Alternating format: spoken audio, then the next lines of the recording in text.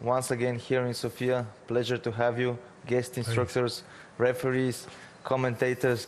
Tell us, are you exhausted? How do you feel after this long weekend? It was quite busy this, this week, you know. I had to teach two, three times a day. We had the gala, we had a lot of things to do also, you know. But it was fun, you know. When you do things you like, it's not too much like work. And how do you feel, Semmy? Yeah, I feel the same. It was a little bit more busy than uh, normally, but uh, yeah, I like to I like to teach. So uh, the the hours went the, the lessons went uh, good. You know, we had a very big group, so we divided in two, so we could uh, both do our own thing. So I think it was a was a really nice seminar. And this time you tested the limits of our uh, competitors here and fighters with three sessions per day.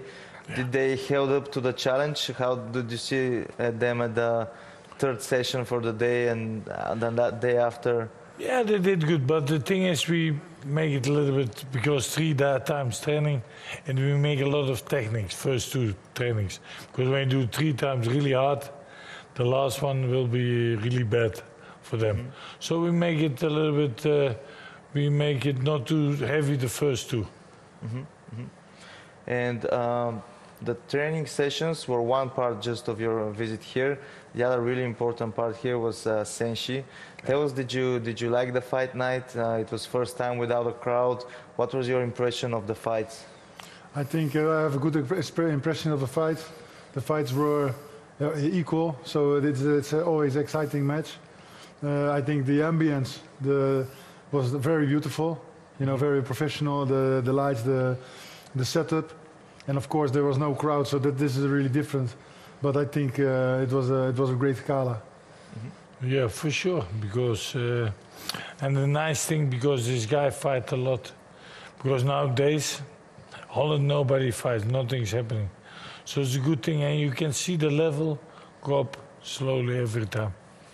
And you say that the fights were really well matched. Was there some yeah. fighter or a couple of fighters that really stood up and made uh, and shined instead of the other guys? Like made some good impression for yeah, you? Yeah, made two, three really good fights. I liked. Mm -hmm. Yeah, yeah. The thing with him, he's tactical, not super, but he fight like a man. You know, mm -hmm. he mm-hmm. takes a few and he gives.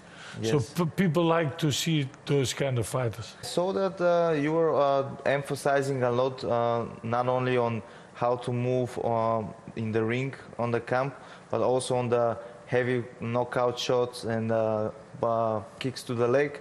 And you emphasize more on keeping distance, you know, good job, good uh, one-two combinations, how to partner with your drills. Was this your uh, strategy going here? You know, one guy just focus on this and the other one focus on the other mm. thing? No, no, we did not speak in, the, of uh, the strategies. But, uh, you know, for, for me, I like to to, to fight intelligent, you know. Mm -hmm. So you have to understand, you have to understand your distance, and then you can make the combinations. And I think the lessons were not that different. Only we had a, uh, a little bit different interpretation sometimes. Mm -hmm. But uh, yeah, it's the same. You have to move. They have to move a lot. They have to make combinations. They have to make a combination with a kick. So this is the, the this is yeah. the kickboxing. Mm -hmm. And the thing is also, you know, it's my vision, you know how you have to kill the legs because I fight for 34 years already. So that my thinking, I think that's the way to do it. That's my thought, you know, yeah. with the kickboxing. And and also, so uh, as for me, you have to repeat. Mm -hmm. You know, mm -hmm. you make punch, punch, kick, punch, yes. punch, kick, and then most of the times they do punch, punch, kick, and then they kick on the block, and then they stop. They go mm -hmm. different strategy. Mm-hmm. But I believe in you do what you do good, and just repeat and yes. your time will come. And yes. if you keep pressing and keep working, the result yes. will come. Yes, you don't you don't need to be to know a lot of techniques. You no. just need to know a few, but do them nine out of ten times. Yeah. Yes, I think kickboxing is good boxing with low kicks. That's the most important. Mm -hmm. And when Good you have style. good this style, yeah, when you have this style, you hurt people on the legs. When people get pain, then you can make the high kick. Not in mm -hmm. the mm-hmm. beginning. Yes. But first you have to make a little bit pain with the opponent. Yeah. And, and I think uh, last night at Senshi we saw a, a, lot of the, the guys using a lot of uh, low kicks.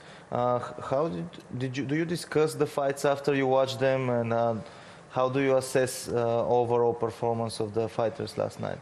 Yeah, I see. I see a lot of Yeah. things when I see the fighters. The, the, the, the long time ago it was too much boxing or only kicking, and it was too too much karate stuff. But now they're changing. Also the karate people, you know, they make combinations. When they finish, they kick the legs or make them high kick. It's more the combination, you know.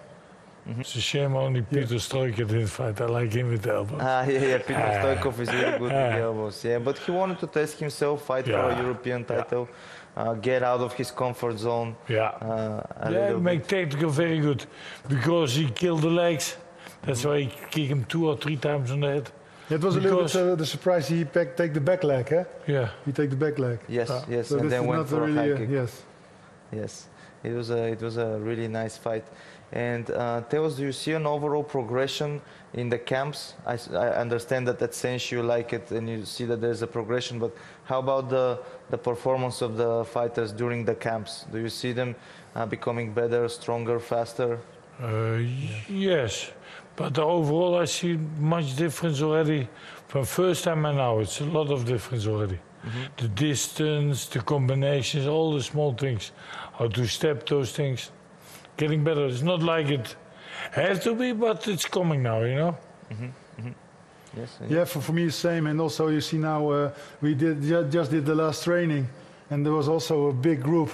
Yeah. And I remember the, the first times we come, there was the small group in the end, and now they, they understand it's important to Yes. to train and to be presentive in all the trainings they are offered, you know. And uh, this I think is also a mindset uh, what is now a little bit different.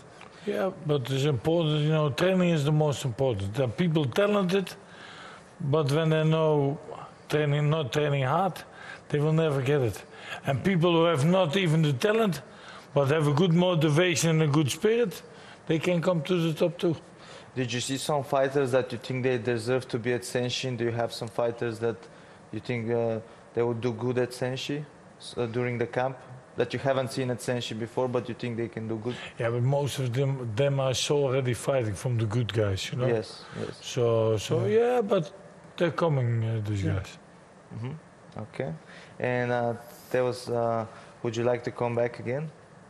Yes, of course. Uh, I really like it here. Uh, there's a good atmosphere, so really I want to come again. Yes. Yeah, it's super here. I like it. So, uh, so next time I want to be here for sure.